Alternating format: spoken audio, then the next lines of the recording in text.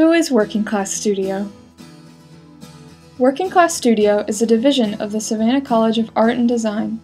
Our products are designed uniquely by SCAD students, faculty, and alumni. We started out in 2004, and we have grown significantly from year to year. Our first designs focus more on surface patterns.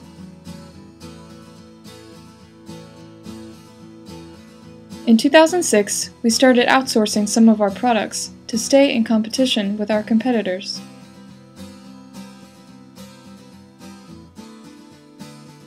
Our success started growing as the Raw Irony dinnerware line grew in popularity and brought attention to us. In 2007, we started partnering with corporations such as Barnes & Noble, Showtime TV Network, and Blik Wall Decals.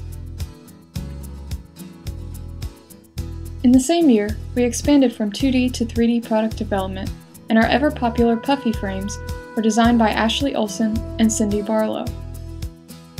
In 2008, Barnes & Noble launched their second collection with us. In 2009, we expanded our social media presence by joining Facebook. We became more environmentally sustainable in 2010 by using 100% recycled materials in our stationery and by printing with soy ink. In 2012, we launched the Tommy Coat Rack, the Nani Collection vases, and the Irene Collection vases, all domestically or locally produced.